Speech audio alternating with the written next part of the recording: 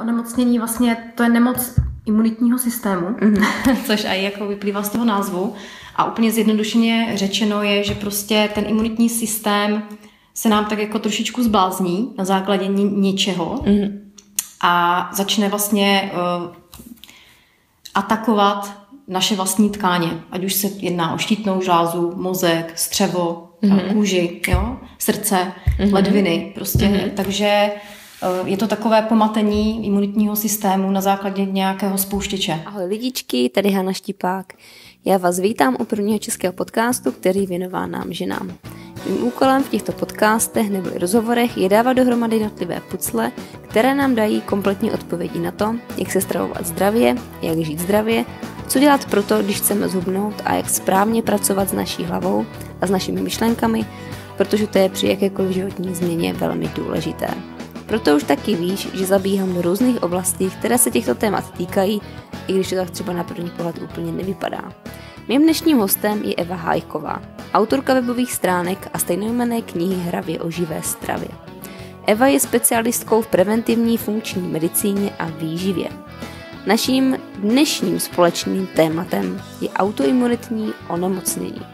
V rozhovoru se dozvíte, co to autoimunitní onemocnění je, v jakých formách se vyskytuje, jak úzce souvisí kvalita našeho stravování a celkový životní styl s autoimunitním onemocněním a jak svůj organismus preventivně posilovat. Než se pustíme do rozhovoru, tak vás chci ještě pozvat ke koupi mého e-booku 8 kroků, jak jednoduše zubnout. Tento e-book najdete na mých webových stránkách www.hanaštipák.cz v rubrice obchod anebo taky na webových stránkách zubnoutjednoduše.cz. Nenechejte se názvem jednoduše zmáct. Žádná životní změna není lehká. Chce to vždycky nějakou disciplínu, pravidla a vytrvalost. Do knížky jsem dala ty nejzákladnější postupy, které fungovaly mě a věřím, že každý člověk, který je zahrán do svého života, tak z nich bude benefitovat. Tak jo, já už to nebudu prodlužovat, jdeme na rozhovor s Evou Hajkovou o autoimunitních onemocnění.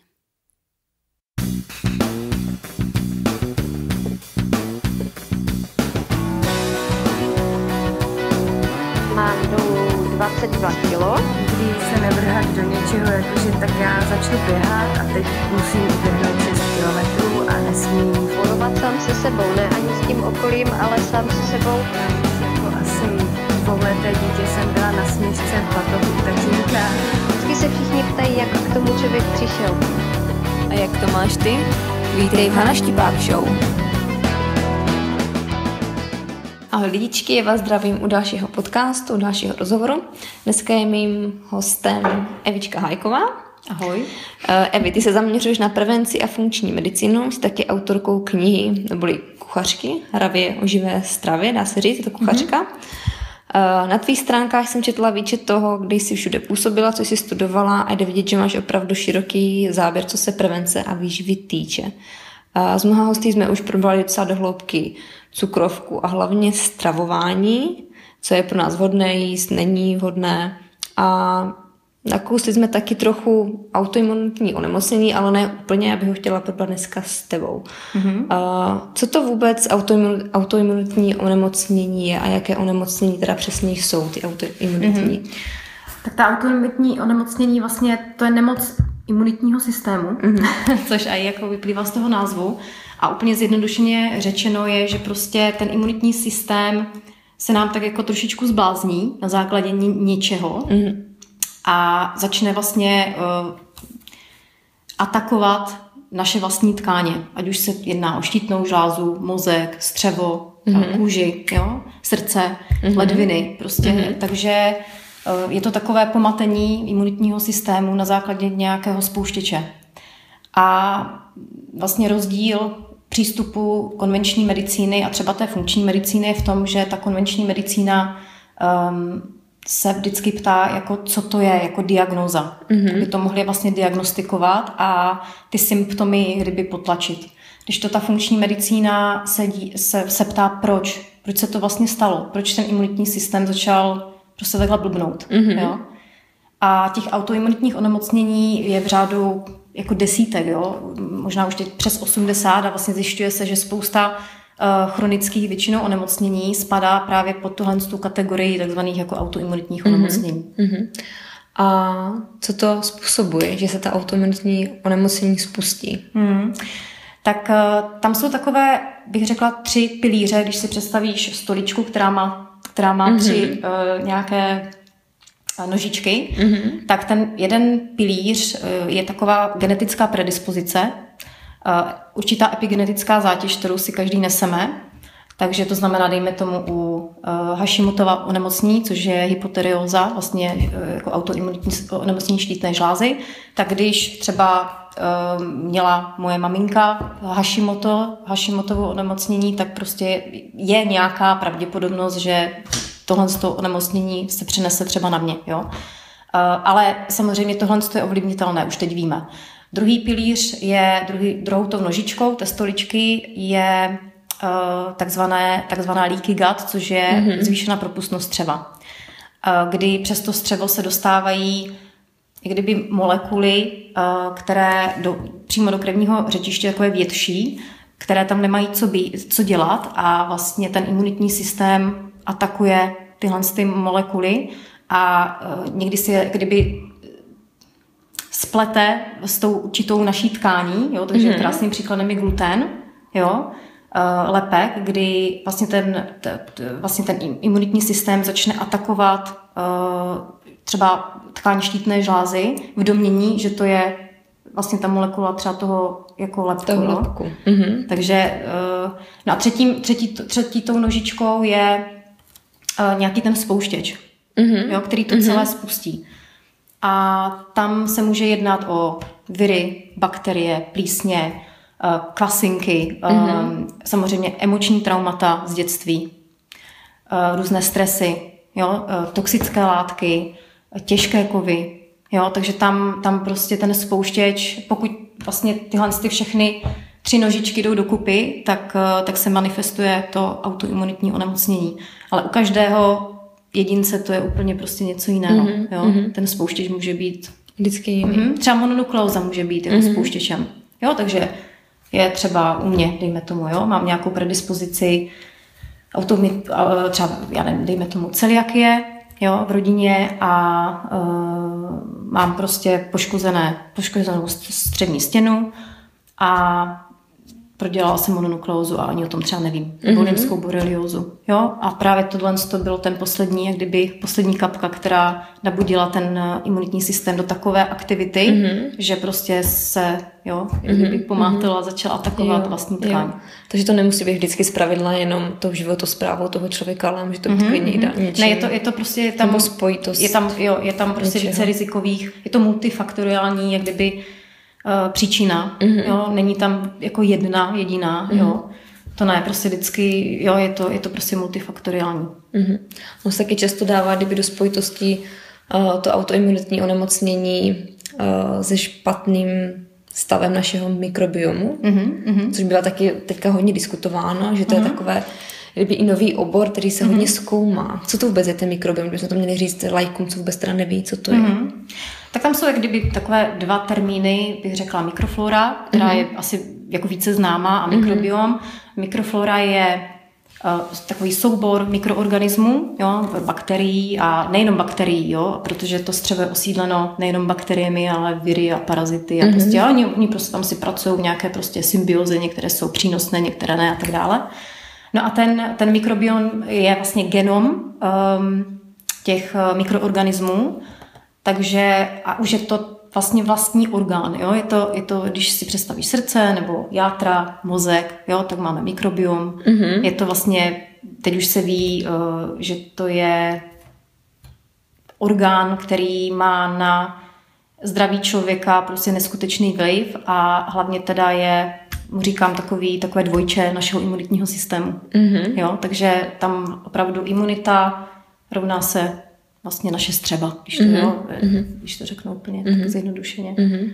No a vlastně ten mikrobiom je nalinkovaný, samozřejmě i má propoj, propojení na náš mozek, jo, má prostě propojení na náš hormonální systém, na všechny vlastně tyhle ty systémy a zase konvenční medicína vlastně má jak kdyby tyhle ty systémy svým způsobem odpojené, jo, to znamená, když má někdo autoimunitní onemocnění, to s velkou pravděpodobností se mu v průběhu nějaké doby, dejme tomu deseti let, může rozvinout další, jo, je to běžné mm-hmm. třeba jak je Hashimoto, mm-hmm. jo. No jenže ten člověk třeba, jo, mám tady klientku, malá holčička, sedmiletá, jo, tak prostě jak je a už se jí rozvíjí, kdyby autoimunitní onemocnění štítné žlázy. No a jenže ona jde samozřejmě ke, ke gastroenterologovi vlastně z celiaký, že mm-hmm. tam mhm. prostě projde nějakým vyšetřením, testováním, nasadí, nasadí se nějaký, nějaká farmaka, že jo, farmakologie a teď jde uh, k endokrinologovi, ten zase řeší štítnou žlázu a ten jí nasadí další léky. Mm-hmm. Jenže i kdyby už se tam jako nekomunikuje mezi, mezi sebou, sebou. Mm-hmm. takže uh, a ty kontraindikace těch léků prostě jsou velké a nikdo to až tak jak kdyby jako neřeší, jo. Takže tam vidím um, takový jako nedostatek, jo? když to ta funkční medicína se opravdu uh, nejenom funkční, prostě integrální, celostní, jo? prostě těch názvů je spoustu, se opravdu dívá, nebo měla by se dívat na propojení a celistvost toho, toho člověka. Jo? Mm-hmm. To znamená, když ke mně přijde klient s autoimunitním onemocněním, tak, uh, tak řešíme jako komplex. Jo? Takže mě zajímá veškerá, veškerá, mm, prostě veškeré léky, které bere, Jo, a prostě jedu a dívám se na kontraindikace, dívám se na vedlejší účinky a tak mm-hmm. dále, jo. A připadám se k detektiv, mm-hmm. který má prostě uh, pucle uh-huh. a ty ten obrázek takhle dávám jo. dokupy, jo.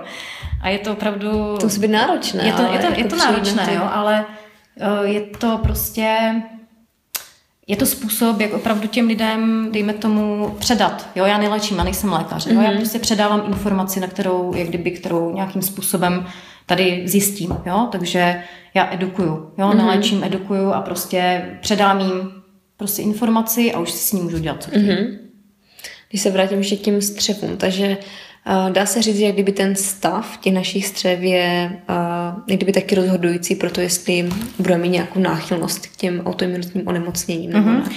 Jo, určitě nejenom jako co se týká autoimunitních onemocnění, ale prostě i dalších uh, samozřejmě onemocnění.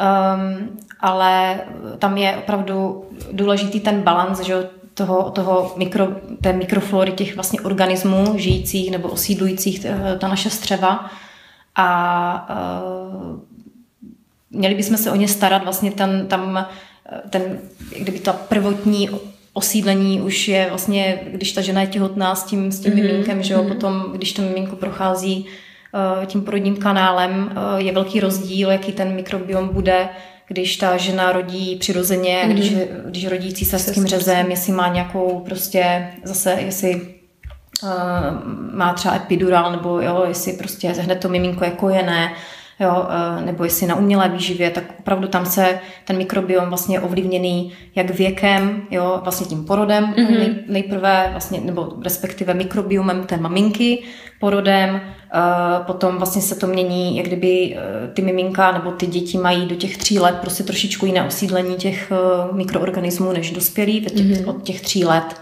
Vlastně je to tak jako podobné mm-hmm. s dospělým člověkem. No a potom samozřejmě ta životospráva, to znamená, mm-hmm. jak, se, jak se ten člověk stravuje, jak žije, jak je aktivní, uh, jestli má nějaký stres management, nemá prostředí, v jakém žije, mm. uh, jakými chemikáliemi prostě je ovlivněn. To prostě, Takže jo, je to prostě... Jo, je to taková je to kdyby no. skládačka. Přesně, je to skládačka. A, ale dá se kdyby rozluštit a pokud člověk opravdu začne vnímat, uh, jakým způsobem žije, kde žije, jaké má třeba...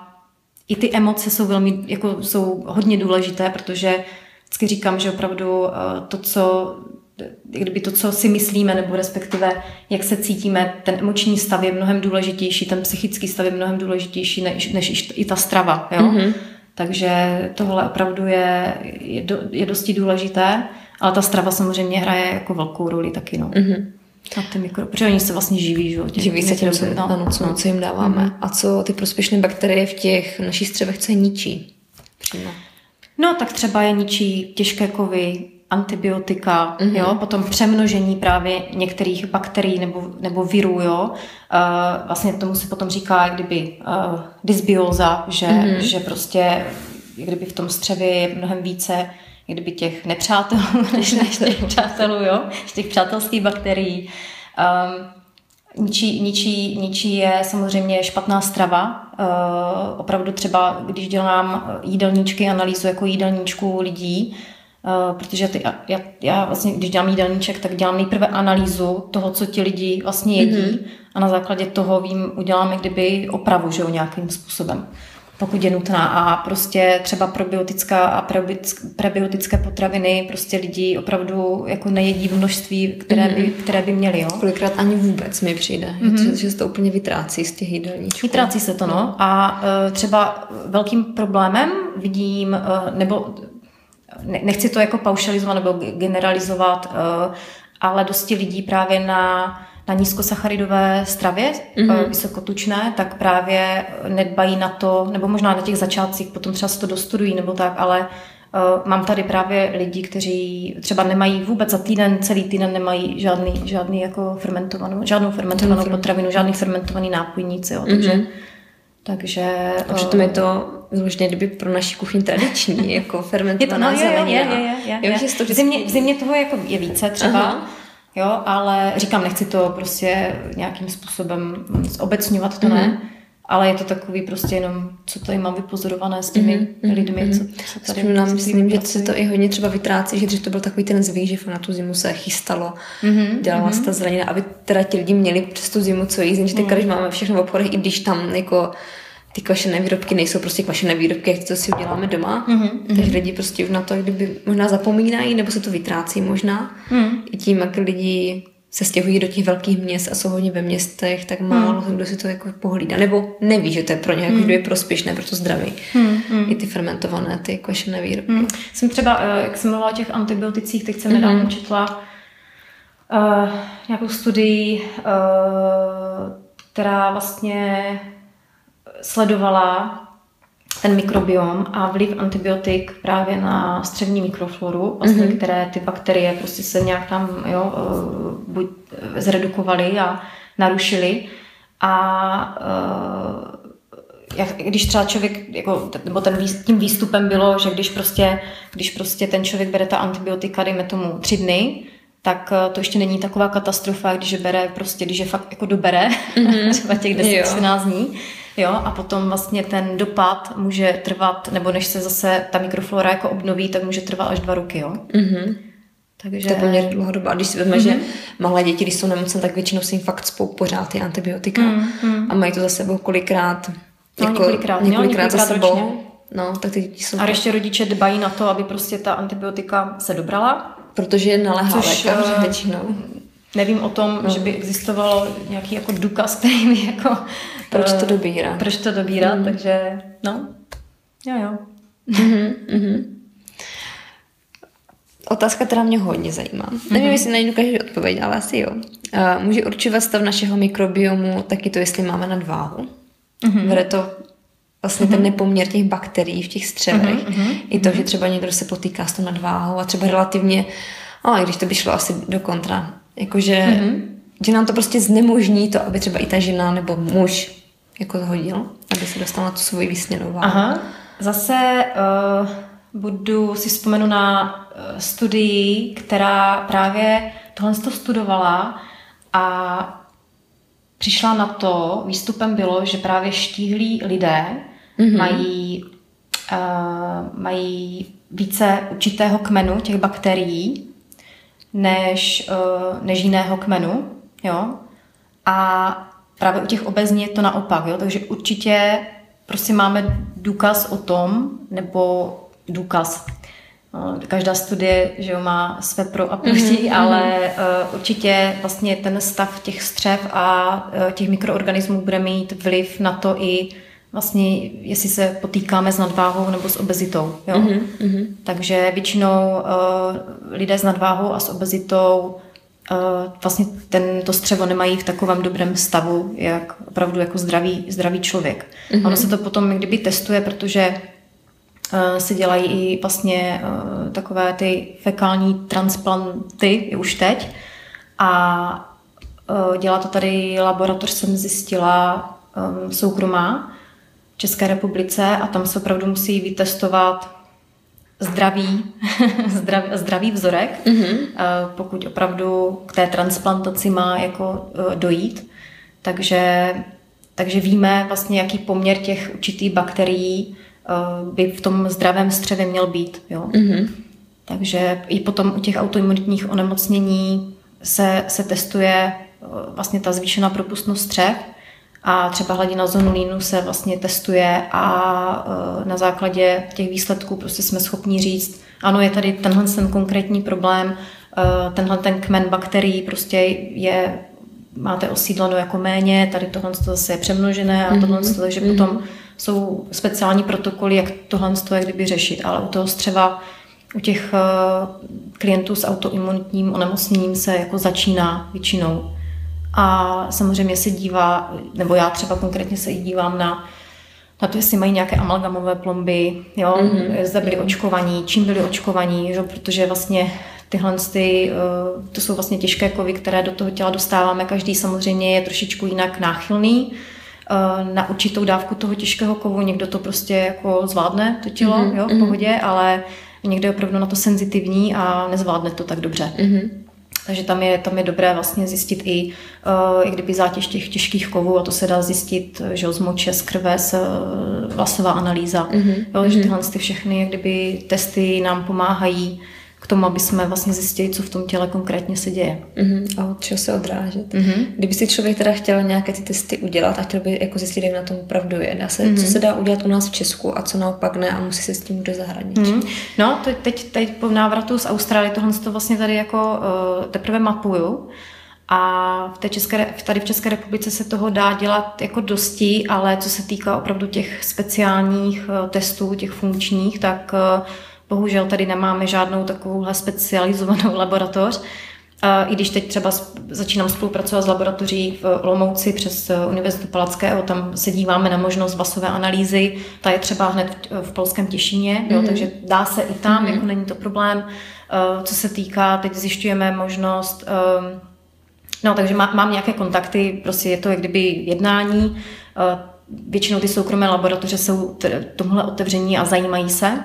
Jinak já teda konkrétně používám testy přes uh, Genova Diagnostic, která sídlí tady v UK, mm-hmm. Anglii, takže tam normálně uh, pošlou kit, jo, tady mm-hmm. vlastně klient si udělá třeba konkrétně, co se týká toho mikrobiomu, tak vlastně vzorek, uh, vzorek stolice a pošle se to zpátky, tam se to zanalizuje, přijde report a na základě toho reportu vlastně pracujeme dál. Ale nejsou to, nevýhodou je, že prostě nejsou to opravdu levné testy. Jo. Mm-hmm. Mluvíme v řádkách jako tisí, tisíce korun. Jo, jo. a tak pokud je člověk nemocný, tak to, to možná oplatí jakože zainvestovat do toho jednou a potom, jo, tak když se, fakt viděl, jako jo, je, je, dobré třeba to, jako když je fakt jako problém, tak prostě to střevo, jak kdyby otestovat jednou za rok třeba, jo, mm-hmm. tak mhm. je, je to fajn i u těch třeba malých dětí. Potom samozřejmě eh, testy potravinové intolerance jsou taky jako dobrý, protože eh, potom, když už eh, víme, co je za problém, tak abychom mohli kdyby podpořit ten mikrobiom, tak jsou určité kdyby kroky, které potom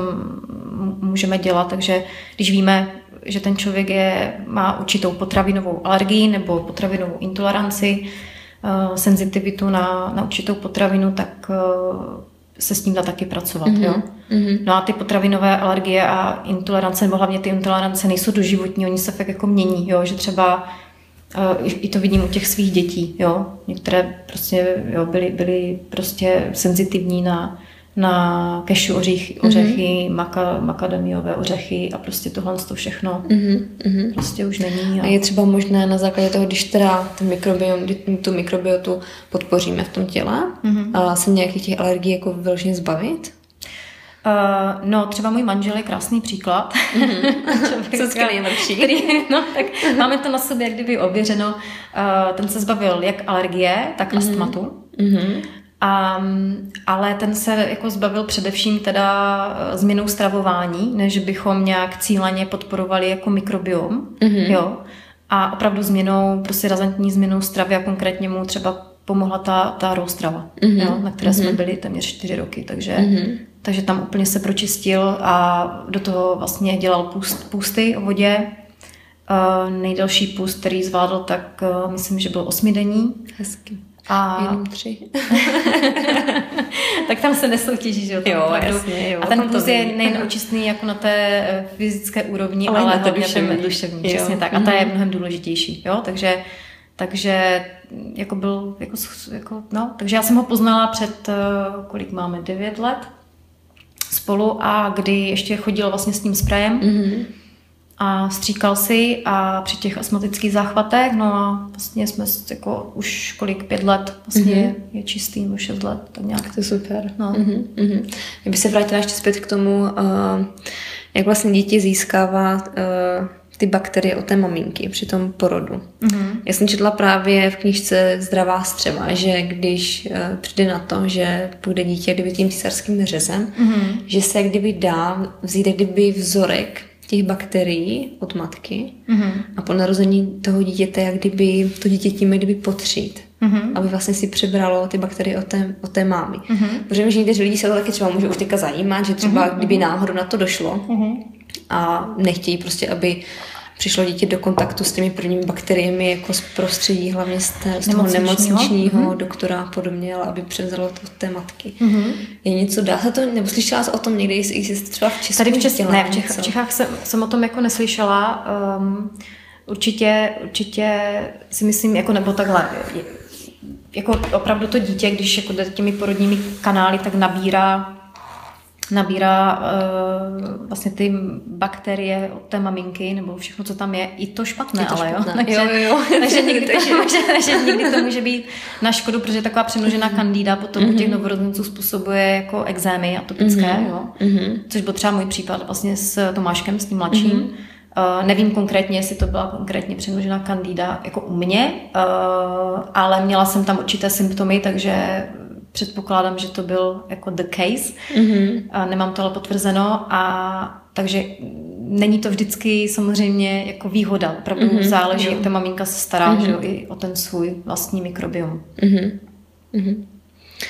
Ono se to potom u těch no, eh, novorozenců, i když třeba to dítě že jo, je narozeno tím císařským řezem, tak eh, dá se to, dá se to řešit že jo, podáváním probiotik i uh, hlavně přes to mateřské mléko. Jo, takže maminka bere, bere určitá probiotika a přes to materské mléko mm-hmm. se to dostává jo, i k tomu kojenci jo. nebo různými kapičkami a tak dále. Takže. Mm-hmm.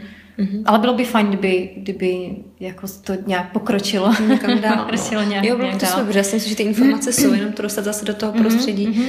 Jako Teď už se dělají třeba, už se vyrábějí personalizovaná mm, probiotika, mm-hmm. vím, že tady je česká firma, která vám, která jako vlastně otestuje střevo, co v tom mm-hmm. střevě máš, co tam nemáš a na základě těch výsledků ti prostě se staví program třeba roční mm-hmm. a tam už se bavíme uh, o cenách na ten rok, dejme tomu 40 tisíc. Mm-hmm. Jo, mm-hmm. takže tam už to jo, nikdy jo, jo. Mm-hmm.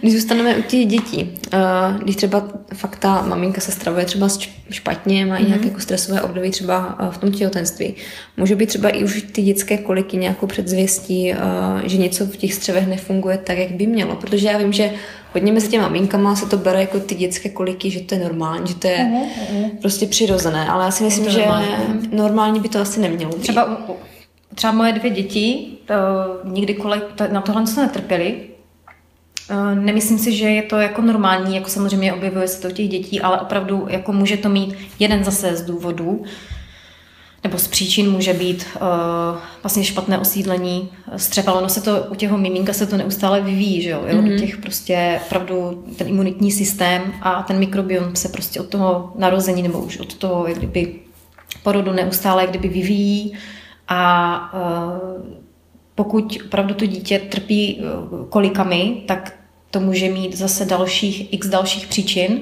Třeba, že jedna z příčin eh, může být, že opravdu při tom porodu eh, jo, prostě se, se někde skřípl nějaký prostě nerv nebo jo, mm-hmm. a mhm. tam, tam třeba jsou výborní fyzioterapeuté, chiropraktici, jo, a opravdu oni vlastně vemou toho novorozence a opraví ho, opraví ho, jo, mm-hmm a uh, prostě je po problému. Jo? Mm-hmm, někdy, někdy krásně zabírají homeopatika jo, některým dětem, um, takže nemusí to být jenom prostě mikrobiom. Mm-hmm, mm-hmm. Jo, to je super, protože já si myslím, že to je hodně důležité, protože každý to bere jako, že to je jako norma, že to je standard, prostě mm-hmm, těch, těch dětí to je a hotovo, ale přitom já si myslím, že se od toho dá pomoct určitě i jinými způsoby. Určitě, určitě. Než přejít na to, jako, že prostě tak to je, tepili jsme na to všichni, mm. nebo takhle. A musí to každé miminko jak kdyby jako odplakat, odbít. Že tam jsou ty cesty, jestli to teda jako to, se to dá nějak vyřešit. Uh, Evi, kde tě můžou lidi teďka potkat? Máš nějaké mhm. akce mm-hmm. nebo někde nevystupuješ?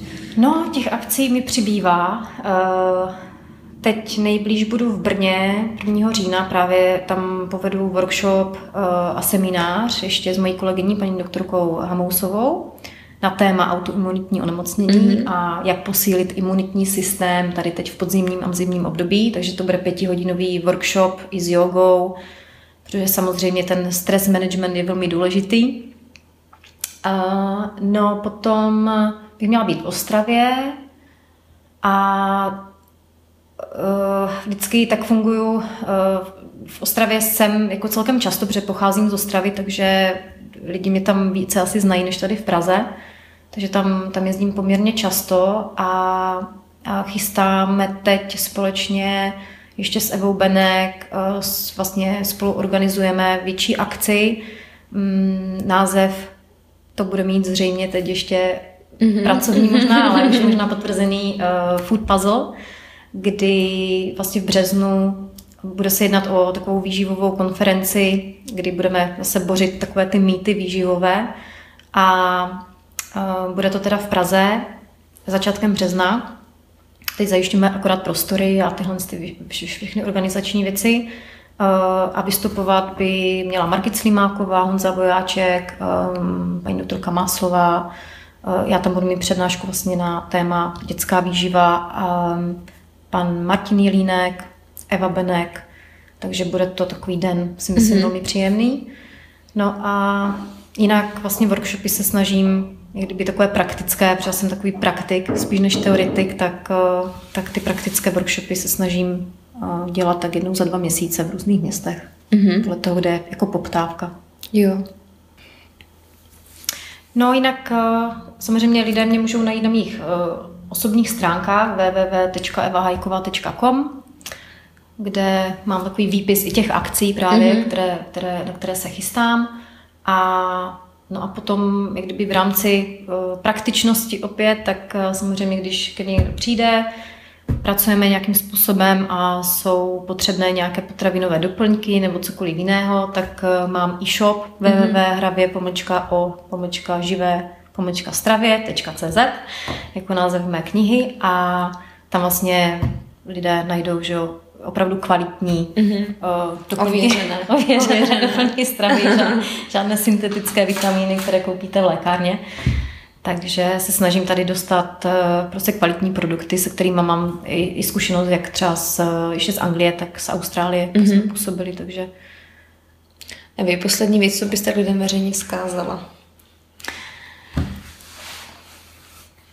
No, že stravování není věda, je to velmi jednoduché. Opravdu se snažte jíst lokální potraviny, čisté, v nejvyšší kvalitě, co nejméně zpracované, takže vyhněte se takovým těm krabičkám, sáčkům, lahvičkám. Krásným obalům. krásným obalům. A vůbec v tom nehledejte žádnou vědu, protože ona vlastně stravování by nemělo být složité. jo? Je, to, je to prostě jednoduché, jenom se jak kdyby navrátit k tomu, že opravdu vemu ty čerstvé potraviny, mm-hmm. ovoce, zeleninu, mm-hmm a nějakým způsobem je zpracuju. Jo. A ještě k tomu třeba mikrobiomu, eh, jak ho posílit, jo? tak teď třeba v tom podzimním období, zimním období eh, opět si vzpomeňme na naše babičky a prababičky a praprababičky a na kostní vývary, mm-hmm. takže ty mm-hmm. jsou jako výborné právě na, posíli, na posílení uh, střední vlastně stěny, takže určitě takové ty dlouhotažené, minimálně 24 hodin, kostní vývary, tak jsou velmi, velmi terapeutické. A dále teď v zimním období, podzimním a zimním období nezapomínejte na vitamin D. Uh, takže to sluníčko nám teď už moc asi nepomůže. takže jedním ze způsobů pro všežravce třeba olej, stres číhaty, výborný zdroj a nebo právě třeba pro vegany, tak, eh, tak tam je dobrý eh, veganský vitamin D při mm-hmm. slyšeníku, takže každý ten člověk, ať už se stravuje tak kolik, tak si určitě najdete nějaký třeba vhodný zdroj. No a hlavně buďte v klidu. Tak hlavně se moc nestresujte. jo. Ebe, moc krát děkuji. Měj se krásně. Mm-hmm. Děkuji za pozvání. Ahoj. Děkuji ti, že jsi doposlechla můj podcast a našla si tak sama chvilku pro sebe. Ještě než mi utečeš, tak prosím nezapomeň dát odběr tohoto podcastu na iTunes, pokud jsi jablíčkář, kde budu taky ráda a moc vděčná za tvoji recenzi, která mi pomůže dostat se výš v posluchatelnosti. Taky můžeš přihlásit odběr tohoto podcastu na SoundCloud, pokud jsi a nebo tyhle podcasty můžeš poslouchat na YouTube, kde mě najdeš jako Hana Štipák. Pro odběr a poslech přes iTunes a SoundCloud vyhledávej tenhle podcast pod jménem Hana Štipák Show. Naštiv taky mé stránky www.hanaštipák.cz kde se s tebou dělím o nejrůznější články, tipy, triky, mé postřehy. Nezapomeň se zde přihlásit taky k odběru mých pravidelných informací formou e-mailu, který přijde do tvé stránky kde se s tebou dělím taky o mé osobní věci, které jen tak všude nezdílím s ostatními. Naštiv taky můj YouTube kanál, kde mě najdeš pod jménem Hana Štipák a nezapomeň tento kanál odebírat, aby ti neunikly nová videa, tipy, jak na to a nejrůznější mé povídačky. Chci se se mnou setkat osobně a pomoct s hubnutím? Napiš mi na hanazavináč hanaštipák.cz Já ti děkuji ještě jednou, podcastu zdar těším se na tebe příště.